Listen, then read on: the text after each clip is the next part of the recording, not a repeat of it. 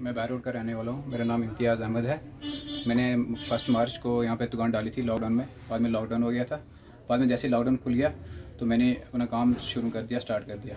ये रात का मसला जी, रात को मैं सात बजे दुकान बंद करके यहाँ से वापस घर चला गया। सुबह जब से मैं जैसे घर से आया तो मैंने देखा कि दुकान मेरी आगे खुली हुई, दस बजे की बात है।